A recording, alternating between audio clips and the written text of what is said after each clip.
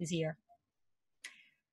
And now we get to know a bit better the incredible pieces that were donated by Sixtus IV in 1471. We have two pieces in this room, okay?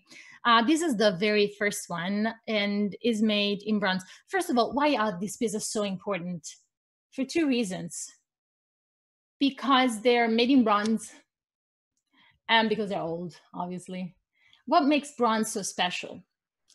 Bronze is made special by the fact that finding original ancient Roman bronze statues is almost impossible. Remember when Constantine was already recycling, reusing previous materials to build new stuff? That tradition continued along all the Middle Ages. That's because it was better, fastest, cheaper. Bronze, in particular, had an enormous value.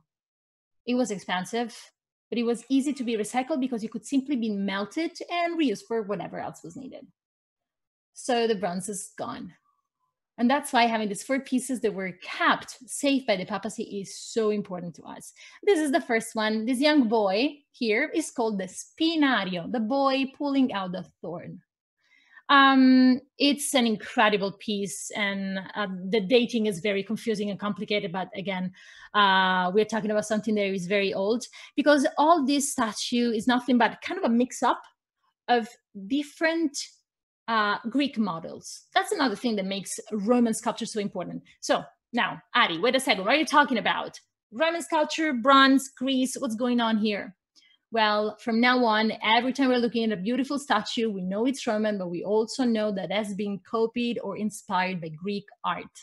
That's because the moment Greece became part of the Roman Empire, uh, Greek art, Greek artists were flowing to the city of Rome, and with their tradition, they were kind of influencing everything there.